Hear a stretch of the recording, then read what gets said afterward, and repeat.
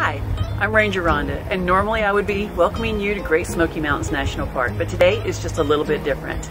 This is a video series where we'll be exploring natural spaces right where the Smokies park rangers, park staff, and park partners live. So I invite you, come enjoy an outdoor experience with us in this episode of Smokies at Home.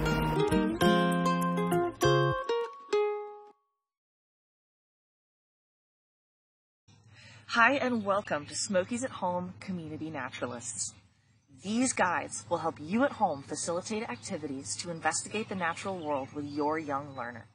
Start with the Notice Like a Naturalist guide for observational activities that promote critical thinking skills and serve as a jumping off point for other community naturalist activities.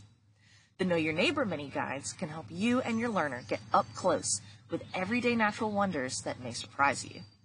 These little guides are chock full of tidbits and tips to help you get to know your natural neighbors in ways you never expected. You can also use the post observation guides for activities that help your learner turn observations into natural art, poetry, scientific investigations, and more. And the best part is, you get to do all these things too alongside your learner. So get your learner, grab a notebook, put on your adventure hat, and head to your nearest park, backyard, garden, or houseplant and see what natural adventures lie ahead. The possibilities are limitless.